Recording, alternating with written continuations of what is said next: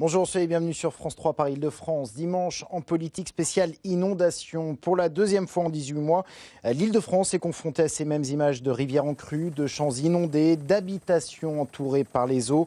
Des centaines de riverains évacués cette semaine, au moins autant concernés par des coupures d'électricité. Conséquence d'un mois de pluie quasiment 110 continuer. Soit doit-on s'habituer à ces inondations à répétition? Peut-on les anticiper, les maîtriser? Comment réduire leur impact? Comment gérer les zones inondables? Faut-il partir, vivre avec ce risque? On en parle avec euh, nos invités. Ludovic Fêtre, spécialiste des risques d'aménagement à l'IAU, l'Institut d'aménagement et d'urbanisme d'Île-de-France. Bonjour.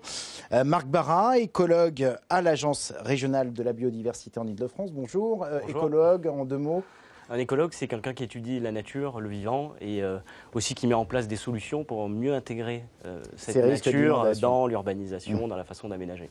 Et puis nous sommes en duplex de Montreux-Fontyonne, en Seine-et-Marne, avec euh, l'ancien maire de la commune, Yves Gégaud. Bonjour, vous êtes désormais député de, de Seine-et-Marne, mais vous avez été maire de Montreux de 1995 à juillet dernier. Votre commune a donc été touchée une nouvelle fois par ces inondations en un mois, en un an et demi, pardon.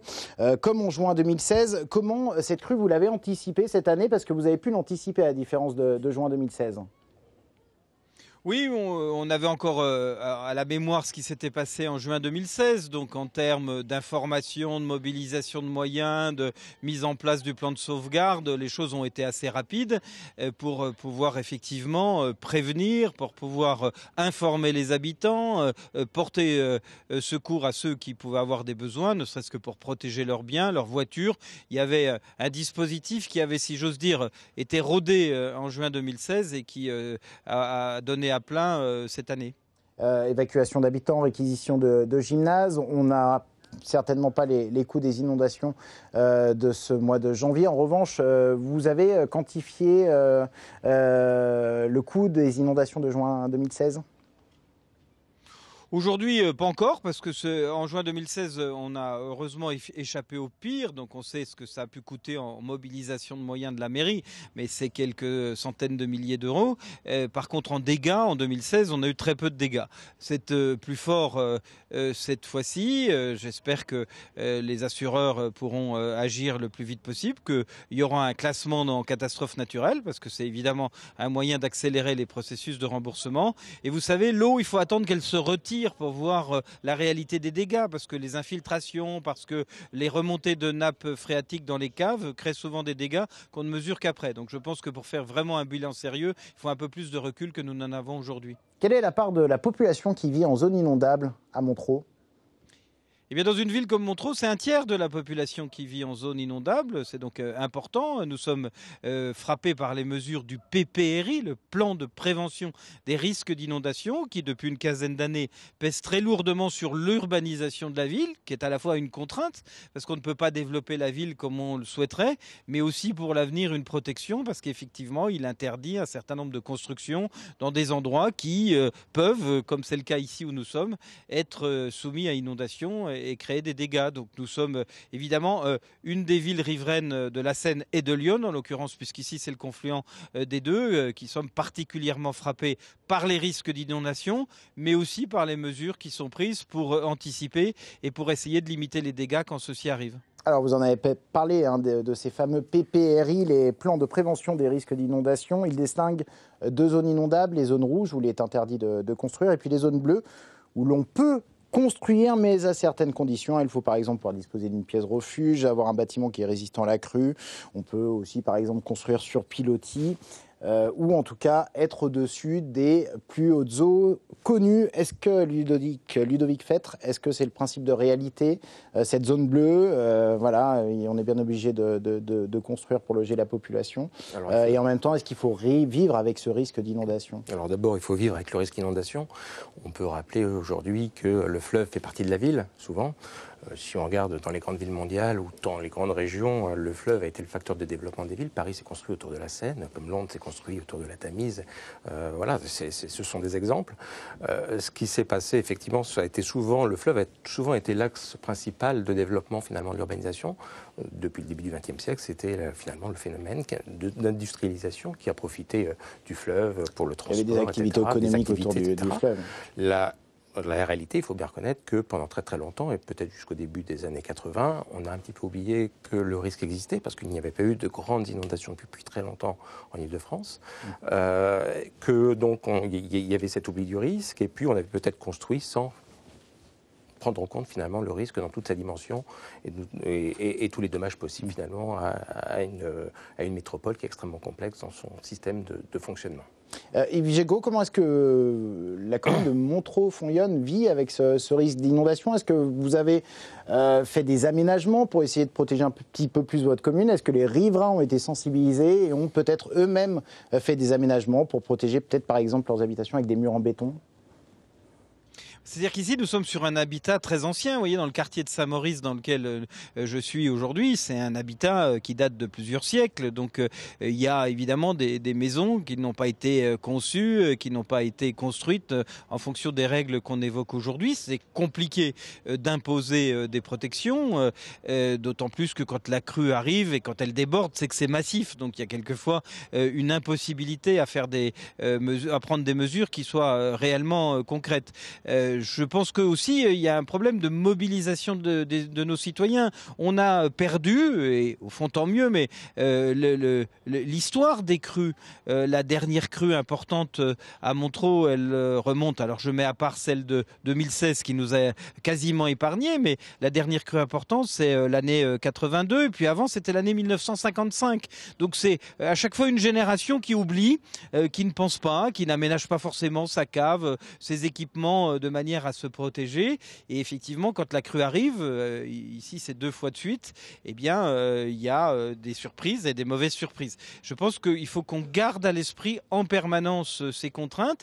Mais quand vous êtes élu local, vous avez aussi la contrainte de la population qui vous dit mais qu'est-ce que vous venez nous embêter De l'eau, on n'en a pas vu depuis 20 ans, donc votre risque il est dans votre tête.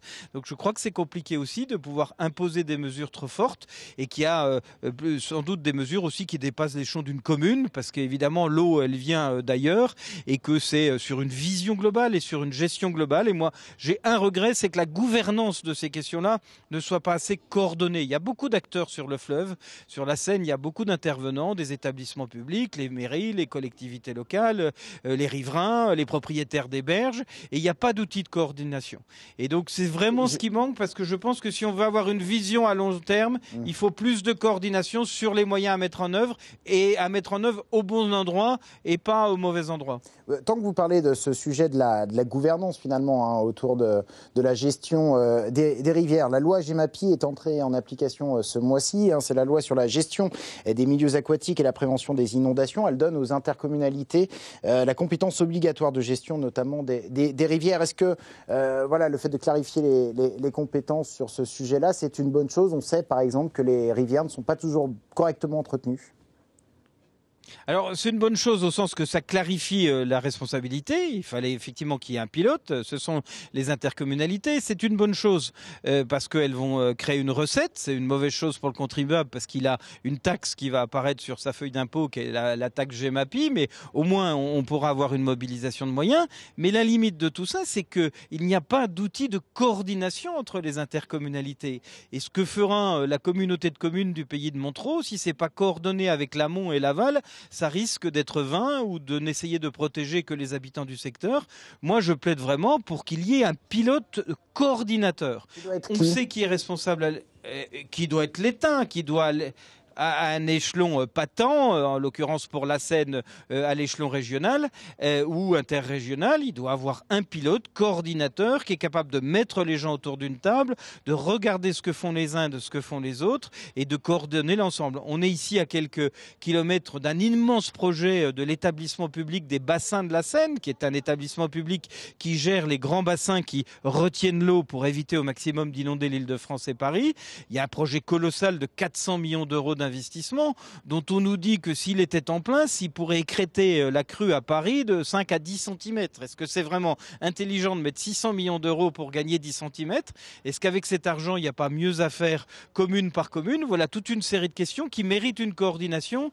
Et la loi GEMAPI, elle permet de définir sur le terrain euh, un pilote, mais elle ne permet pas malheureusement de coordonner l'action sur l'ensemble d'un fleuve. Et chacun l'aura bien compris, c'est sur l'ensemble du fleuve qu'il faut coordonner, parce que ce que font les uns euh, n'a pas de conséquences sur les autres si c'est pas coordonné. Alors vous parliez de ce projet hein, de, lac de la Bassée à côté de, votre commune. S'il est réalisé, s'il est bien réalisé, ça sera le cinquième réservoir hein, qui protège euh, l'île de France. Il y en a quatre aujourd'hui qui ont été construits entre les années 40-50 et 1990.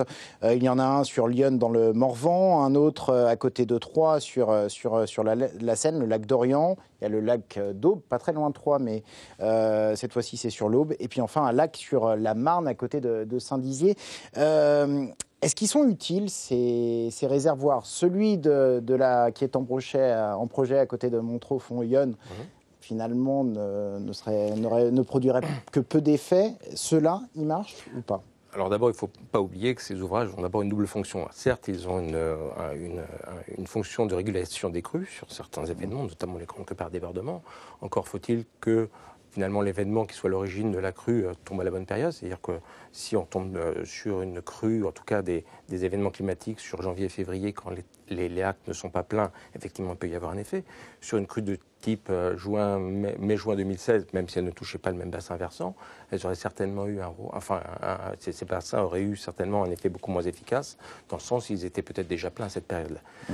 il ne faut pas oublier que la deuxième fonction finalement de ces grands bassins réservoirs, c'est aussi une fonction d'étiage pour pouvoir assurer un niveau d'eau permanent sur la Seine pendant la période estivale. Euh, au-delà de tout ça, euh, les grands barrages n'empêcheront pas la crue. Mmh.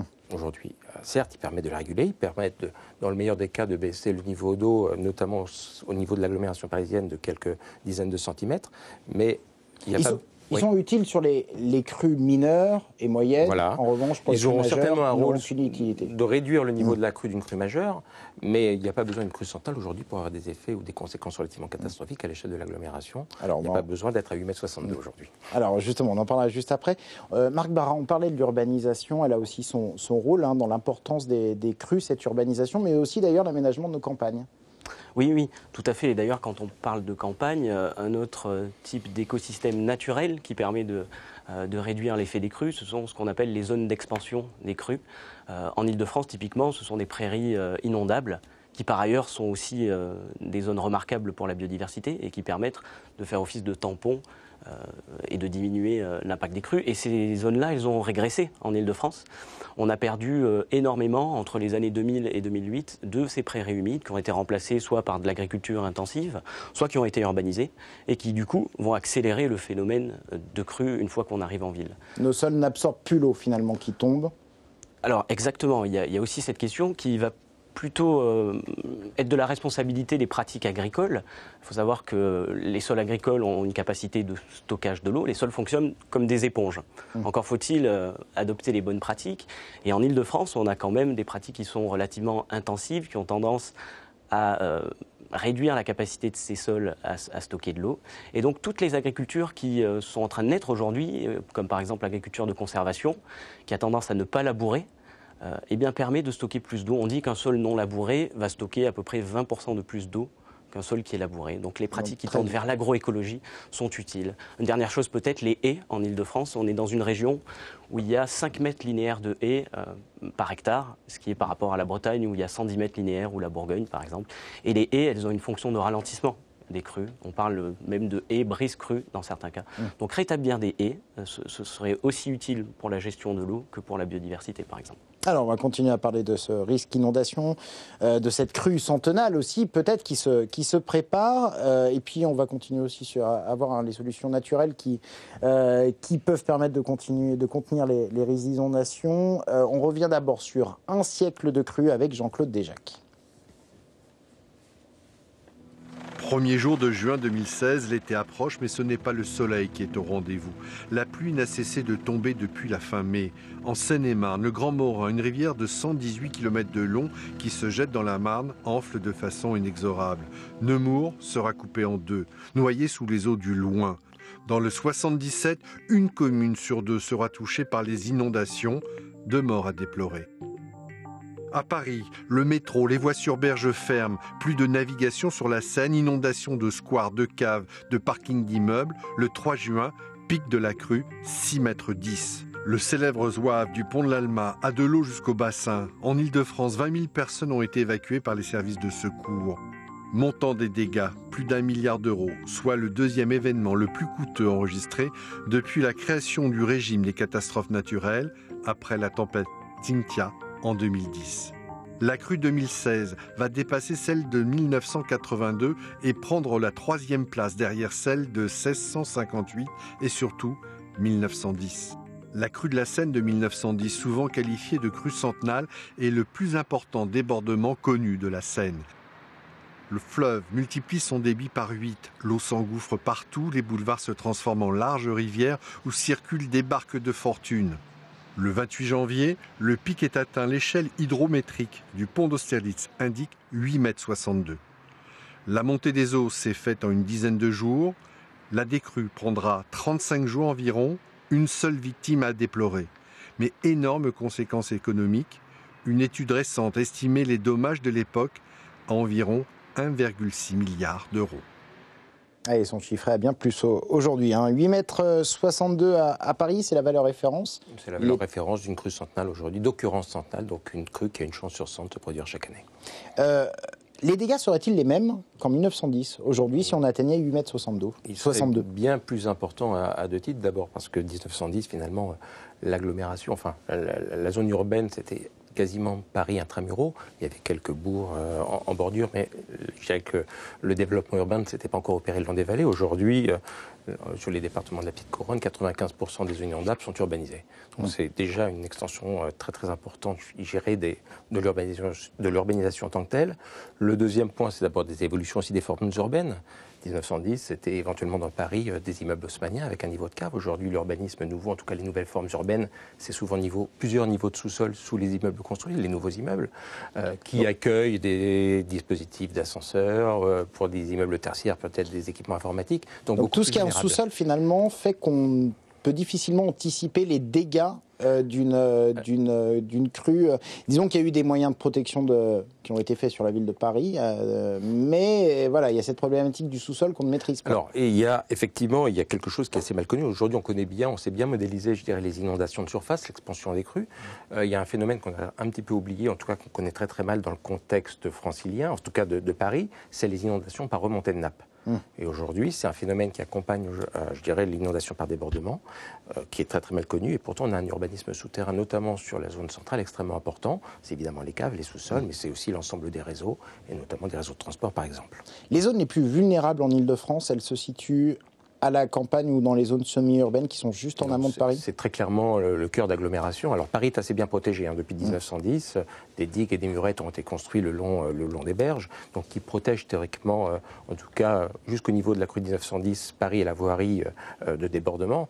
En revanche, les territoires immédiatement à l'amont et à l'aval, qui sont des grandes zones d'expansion des crues à l'origine, je pense au Val-de-Marne, le, secteur de la Seine-Amont, Ivry, Vitry, etc.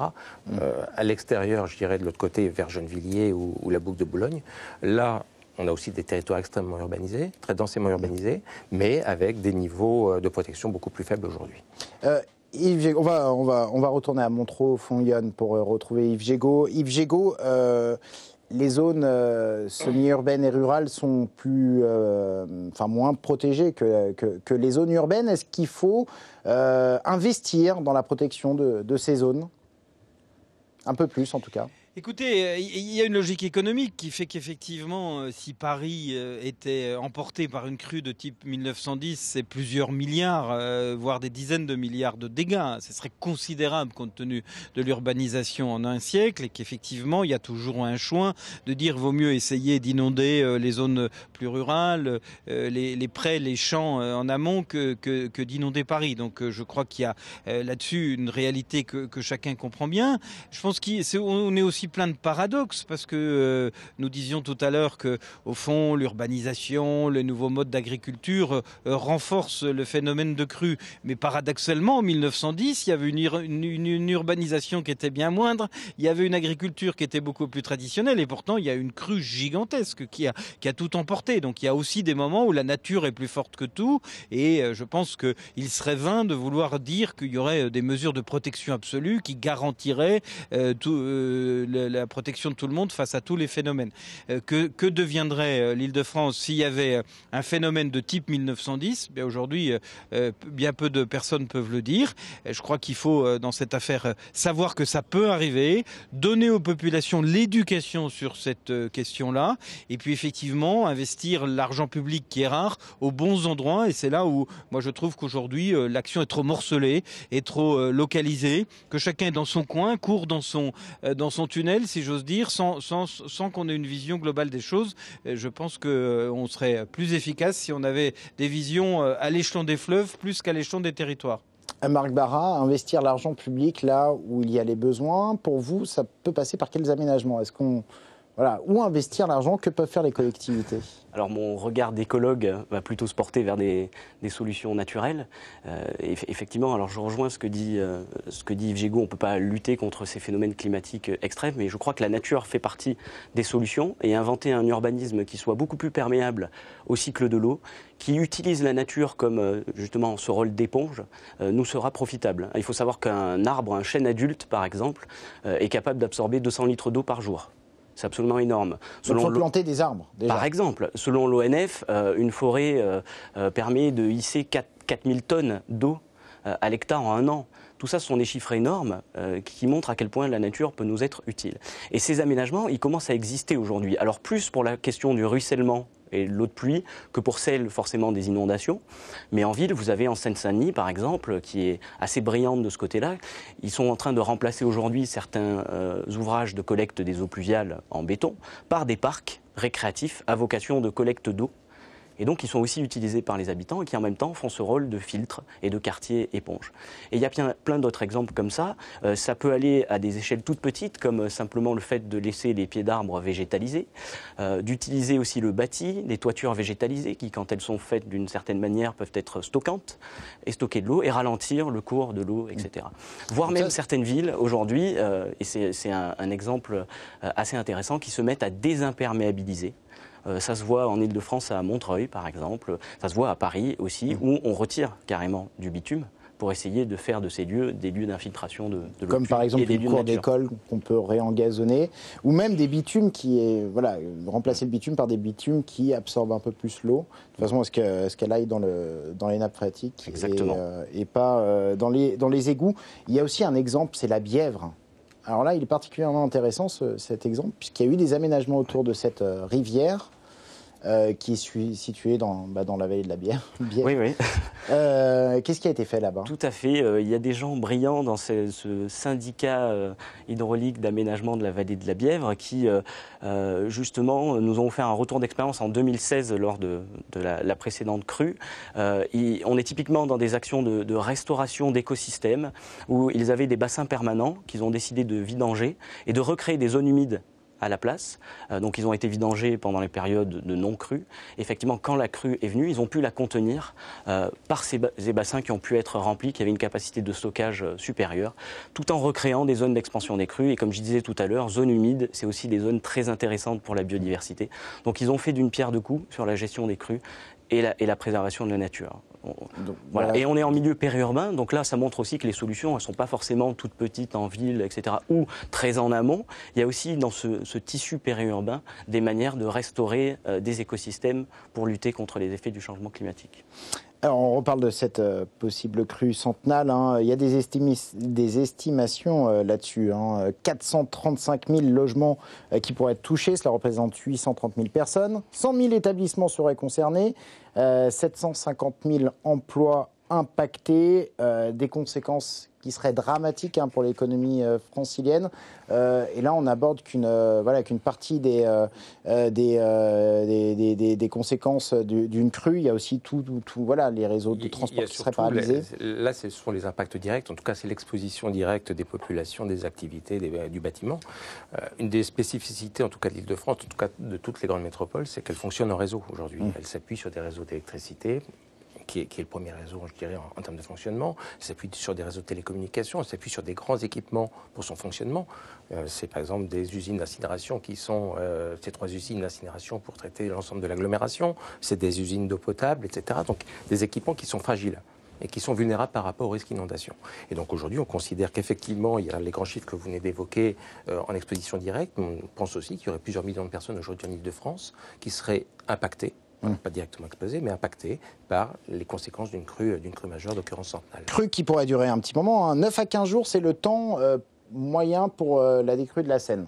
Euh, en 1910, c'était même 45 jours, puisque Lyon avait connu une nouvelle inondation entre-temps. Comment est-ce qu'on, très rapidement, puisqu'on arrive à la fin de cette mhm. émission, comment est-ce qu'on fait pour vivre avec euh, Paris sous les eaux et Ce sera extrêmement compliqué pour les habitants. Il vaudra mieux certainement partir de Paris, quitter leur logement. Encore faut-il le pouvoir.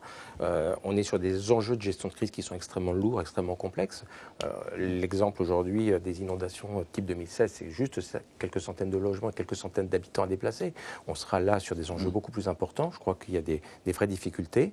Et puis il faut aussi imaginer une des caractéristiques finalement de, des habitats ou de l'habitat exposé en Ile-de-France, c'est beaucoup d'immeubles collectifs. Beaucoup mm. de personnes encore que parce qu'elles sont quatrième étage, elles ne sont pas concernées. Mais un quatrième étage sans électricité, sans ascenseur, sans assainissement, vous dites. ça, c'est les risques collatéraux. Merci beaucoup. Mm. Euh, on retourne à, Montreux euh, pour aller voir très rapidement Yves Gégaud. Euh, on va en fait vous, remercier. Hein. Il reste moins d'une minute d'émission. Merci beaucoup d'avoir participé à ce dimanche en politique spécial inondation. Et puis merci aussi à l'équipe d'Orléans hein, qui a assuré le, le duplex depuis Montreux.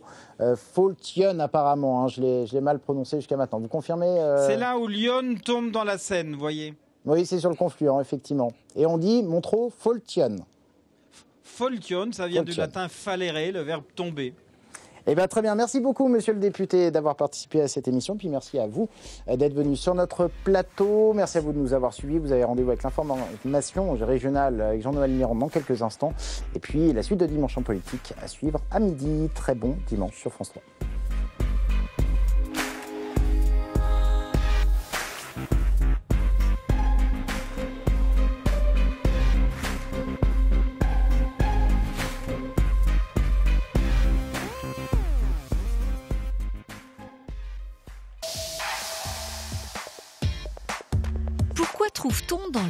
20e arrondissement